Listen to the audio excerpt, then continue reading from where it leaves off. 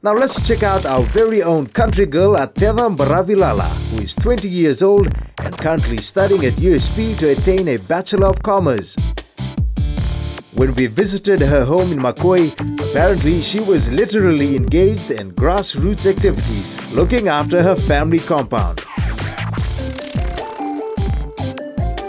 Believe today we visit one of our young female artists of Rain Project. Uh, she did impress the judges from the very uh, beginning uh, during auditions.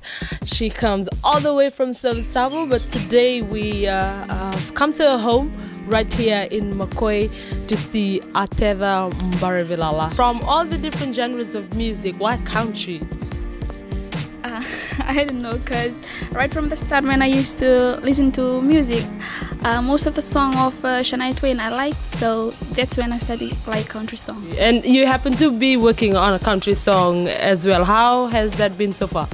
Um, uh, from the first time I started to write my new song, uh, Ray of Hope, it's for the first time it was like hard, but then I.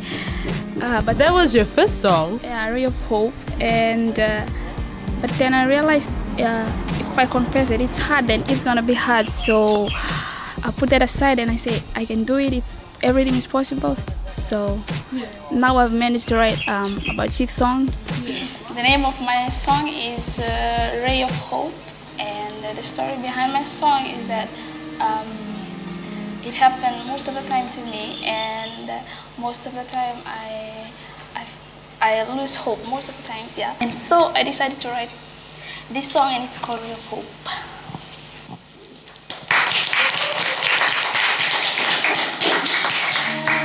Suddenly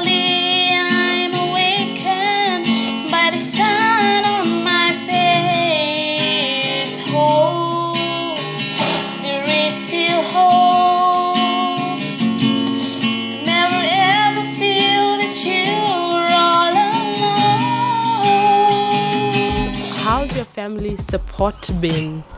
Um, they are very supportive, and my dad used to give my fare when I have to uh, when we meet sometimes. So I have to ask my dad for my fare, and he's willingly uh, he's willing to give my fare. So they are very supportive. How has the Rain project been, and how have you seen Ateca develop and grow as a singer? From the beginning, I did not uh, know what Rain project is. But when uh, Ateca came to compete, then I know what Rain Project is. So from that time on, I always like Rain Project program.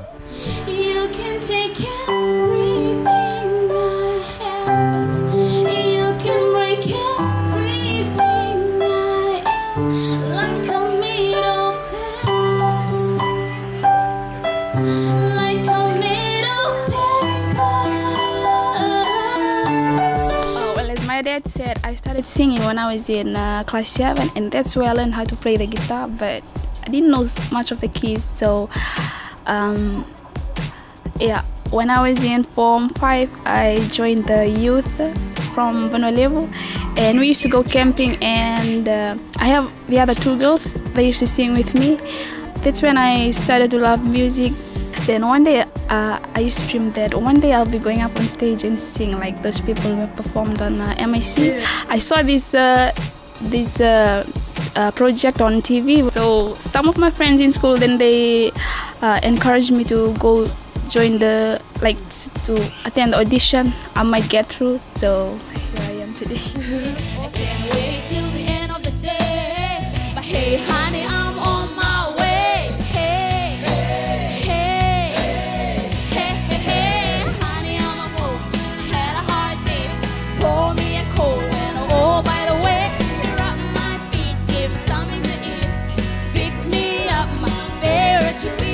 Savu Savu to FBC TV. How did you feel when you first saw her appear on TV? I was very proud of myself, first of all, and I, that's all. I was very proud because uh, there was none in my family that used to sing, and not only in my family but my whole village also. I'm from Nasinu, Navatu in Thakondro. We've uh, gone around families to see if all these rain artists have actually changed somehow, eh?